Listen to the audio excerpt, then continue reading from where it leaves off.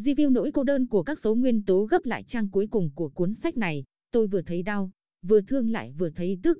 Một cục tức ứ căng lồng ngực. Thật may là tôi đã không đọc giới thiệu nội dung trước khi đọc cuốn sách này. Bởi vì, tôi không thực sự thích những câu chuyện có tí dính líu tới tình yêu, và tôi cũng không muốn đọc những câu chuyện buồn. Đây là một câu chuyện đẹp, nhưng buồn. Hai chương mở đầu của cuốn sách kể hai câu chuyện về cô bé Alice và cậu bé Mattia. Mỗi người đều gặp phải một sự cố khiến cho họ đau đớn suốt cả cuộc đời. Hai câu chuyện làm tôi thấy đau quặn trong ruột và rơi nước mắt. Thú thực, tôi rất ít khi chảy nước mắt khi xem phim hay đọc sách. Hai câu chuyện làm tôi suy nghĩ rất nhiều về cách chúng ta đã lớn lên, về cách chúng ta đang nuôi dạy con cái. Có ai thấy thấp thoáng bóng dáng của chúng ta ở trong đó không? Câu chuyện này có thức tỉnh chúng ta chút nào không? Alice và Mattia lớn lên với những kỷ niệm đau thương thuở ấu thơ, những ám ảnh ngăn họ có được một cuộc sống bình thường như bao thiếu niên đồng lứa khác.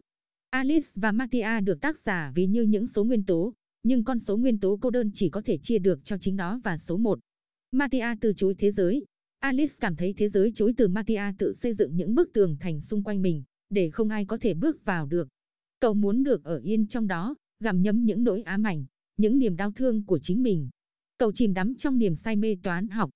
Có phải vì những con số đó biết yên lặng khi ở bên cậu, những con số đồng hành với cậu mà không bao giờ đặt câu hỏi tại sao, những con số để cậu yên với những nỗi niềm riêng của cậu. Alice thì khác, Alice muốn hòa nhập với thế giới ồn ào kia. Em đã từng chịu làm những hành động ngu ngốc, ngược với cá tính của mình để mong được chấp nhận. Nhưng rồi cuối cùng vẫn bị đẩy ra ngoài, vì em không thực sự thuộc về thế giới đó. Tôi đã thương Mattia và Alice thời niên thiếu biết bao nhiêu. Tôi tự hỏi liệu trong suốt thời học sinh của mình, mình đã từng bao giờ đánh giá hay xa lánh một bạn học sinh lập dị hay không? Tôi có đã từng độc ác bình phẩm điều gì về một bạn học chỉ vì bạn ấy trông khác tất cả chúng tôi hay không? Trong trường học của chúng ta, có lẽ đã từng có những Alice hay Mattia như thế, chỉ là chúng ta chưa từng đủ lòng thấu cảm để biết được cuộc chiến của họ.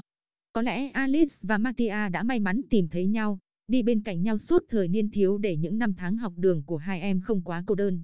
Nhưng mà Mattia nghĩ cậu và Alice giống một cặp số nguyên tố sinh đôi cô độc và mất mát, tuy rất gần mà không đủ để thật sự đến được với nhau. Dù rằng họ hiểu nhau tới tận tâm can, họ có thể chia sẻ nỗi cô đơn và những ám ảnh của bản thân cho nhau nghe. Họ ở bên cạnh nhau lúc người kia cần mà không cần nói hay hỏi thêm bất cứ điều gì. Họ biết im lặng, họ biết chờ đợi, nhưng họ lại không thể thật sự đến bên nhau. Điều này làm cho tôi rất tức. Tức y như lúc tôi xem tới phút cuối cùng của bộ phim An Giai nhiều năm về trước. Rốt cuộc, chẳng ai có thể giúp được Mattia hay Alice cả, trừ phi chính họ cho phép điều đó, trừ phi chính họ tự phá bỏ đi bức tường vô hình bao quanh họ và đón nhận mọi người. Có thể cuối cùng, một lúc nào đó chính Mattia và Alice sẽ nhận ra điều đó, hoặc họ sẽ cứ mãi ở trong lâu đài của mình để gặm nhấm nỗi buồn. Ừ thì nỗi cô đơn cũng có vẻ đẹp của chính nó mà. Dù sao thì, tôi vẫn nghĩ đây là một cuốn sách đáng đọc, bởi nó cho ta thêm lòng yêu thương và thấu cảm với những ai khác với chúng ta. Câu chuyện khiến mình nhớ lại một câu của được treo trong phòng làm việc của giáo sư hướng dẫn luận văn của mình. Đây là một câu nói nhắc nhở mình trong nhiều năm tháng qua, trước khi mở miệng phun ra những câu mang hơi hướng hết stick. Be kind. For everyone is fighting a battle you know nothing about.